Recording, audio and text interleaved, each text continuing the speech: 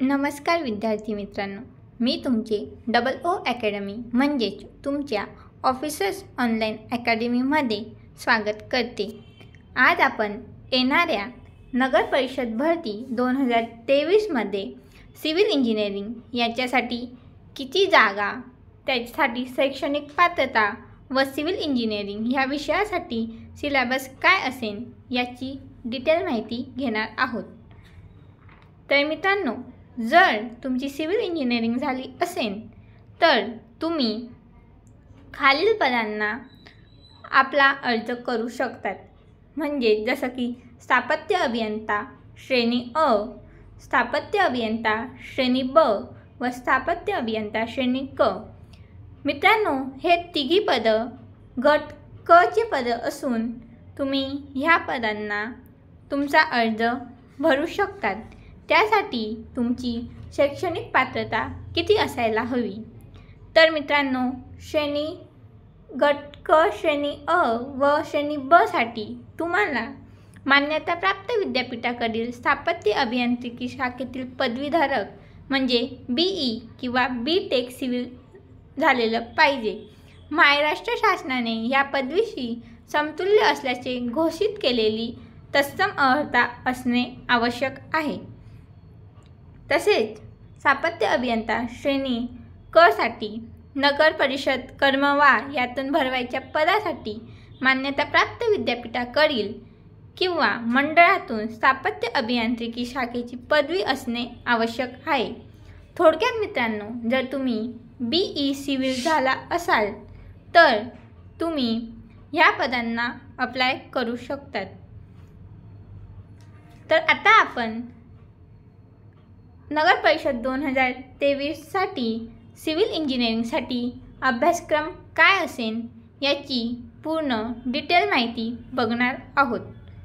तर तुमचा पहिला सब्जेक्ट असेल बिल्डिंग मटेरियल.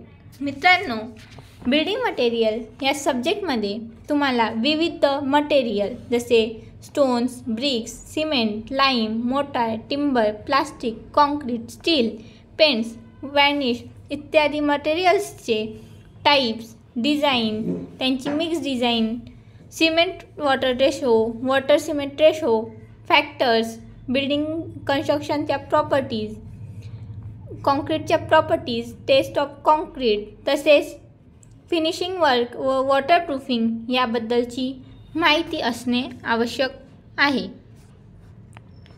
मित्रांनो तुमचा दुसरा सब्जेक्ट असेल इंजिनिअरिंग मेकॅनिक्स. इंजिनिअरिंग मेकॅनिक्सला वेटेज कमी आहे म्हणून खूपसे विद्यार्थी हा सब्जेक्ट स्किप करतात. पण मित्रांनो हा सब्जेक्ट सर्वात इम्पॉर्टंट असा सब्जेक्ट असून एम पी एस सीच्या प्रिव्हियस इयर क्वेश्चन पेपरमध्ये या विषयावर प्रश्न आलेले आहे. थोडक्यात तुम्हाला एम पी एस सीचा सिलेबस दिला गेला आहे. आणि इंजिनिअरिंग मेकॅनिक्ससाठी तुम्हाला बी ई फर्स्ट इयरच्या मेकॅनिक्सचा सब सिलेबस दिला आहे. ते यात system of coplanar forces law of friction cone of friction acceleration second law of motion इत्यादींची माहिती दिली गेली आहे. तसेच तुम्हाला पुढे कन्स्ट्रक्शन प्लॅनिंग व मॅनेजमेंट हा सब्जेक्ट असून त्यामध्ये तुम्हाला it's simply management site layout general layout आणि जनरल थेली थेरीबद्दल माहिती पाहिजे. त्यानंतर मित्रांनो तुमचा पुढचा सब्जेक्ट आहे स्ट्रेंथ ऑफ मटेरियल यात तुम्हाला stress strain principal of stresses deflection of beam column इत्यादीबद्दल माहिती दिलेली आहे. तसेच तुम्हाला पुढे थेरी ऑफ स्ट्रक्चर म्हणजेच टॉस हा विषय दिला गेला गेला असून त्यात तुम्हाला analysis of beam frame trusses slope deflection यांची माहिती देण्यात आली आहे. त्यानंतर पुढचा विषय आहे स्ट्रक्चर ॲनालिसिस यात तुम्हाला वेगवेगळ्या स्ट्रक्चरचे म्हणजेच arches suspension cable influence line stiffness flexibility of matrix method इत्यादींचा अभ्यास करावायचा आहे. तर तुमचा पाचवा सब्जेक्ट आहे स्टील स्ट्रक्चर मित्रांनो स्टील स्ट्रक्चरमध्ये तुम्हाला बोल्डेड व welded connection columns footing trusses steel beams plate girders इत्यादीचा अभ्यास करवायचा आहे. तसेच तुमचा सहावा सब्जेक्ट आहे design of reinforce reinforce concrete structures म्हणजेच आर सी सी यात तुम्हाला वेगवेगळ्या slab beam column footing retaining wall tanks building frame यांची डिझाईन म्हणजेच कॅल्क्युलेशन करायचे आहे मित्रांनो तुमचा सातवा सब्जेक्ट आहे सर्वेईंग त्यात तुम्हाला classification of survey levelling contouring theodolite traversing photogrammetry geodetic survey hydrographic survey prismatic compass अशा वेगवेगळ्या प्रकारच्या सर्वेचा अभ्यास करायचा आहे. मित्रांनो पुढे तुम्हाला कम्प्युटर ॲडेड ॲनालिसिस म्हणजेच कॅड हा सब्जेक्ट देण्यात आलेला आहे.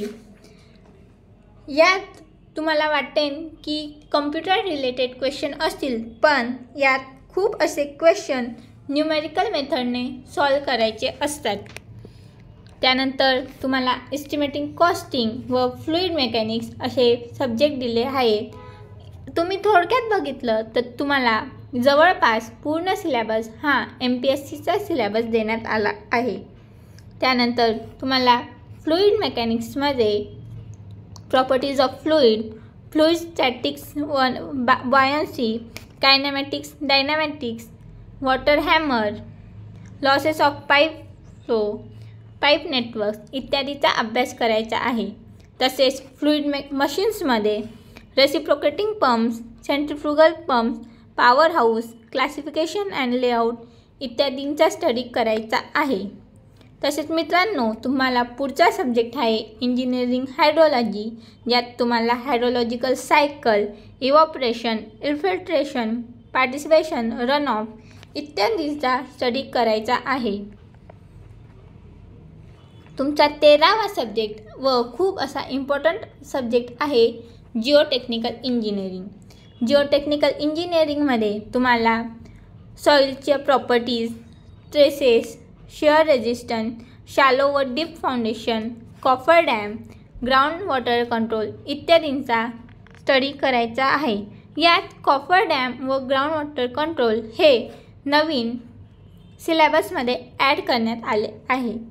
तसेच मित्रांनो तुमचा पुढचा सब्जेक्ट आहे हायवे इंजिनिअरिंग ज्यात तुम्हाला विविध प्रकारचे हायवेबद्दल माहिती देण्यात आली आहे. म्हणजे rigid flexible pavements traffic engineering alignment geometric design horizontal व व्हर्टिकल स्कर इत्यादीची अभ्यास तुम्हाला हायवे इंजिनिअरिंग ह्या सब्जेक्टमध्ये करायचा आहे. तसेच तुम्हाला पंधरावा सब्जेक्ट आहे ब्रिज इंजिनिअरिंग ब्रिज इंजिनिअरिंग हा सिलेबसमध्ये नवीन ॲड करण्यात आला असून त्यात selection of a site types of bridges discharge waterway span scours standards specification loads and forces इत्यादीचा तुम्हाला स्टडी करायचा आहे. तर मित्रांनो तुमचा सोळावा सब्जेक्ट आहे environmental engineering water supply engineering waste water engineering व सॉलिड वेस्ट मॅनेजमेंट हे इन्व्हायरमेंट इंजिनिअरिंगचे तीन टाईप्स पडतील व त्यानुसार तुम्हाला हा सब्जेक्ट स्टडी करायचा आहे. तर मित्रांनो तुमचा खूप असा इम्पॉर्टंट सब्जेक्ट आहे तो म्हणजे अप्लाइड मॅथमॅटिक्स जर तुम्ही बघितलं असेल तर दोन हजार एकोणावीसच्या प्री एम पी एस सीच्या पेपरनंतर मॅथ हा सब्जेक्ट घेण्यात आला नव्हता पण तो आता तुम्हाला देण्यात आला आहे.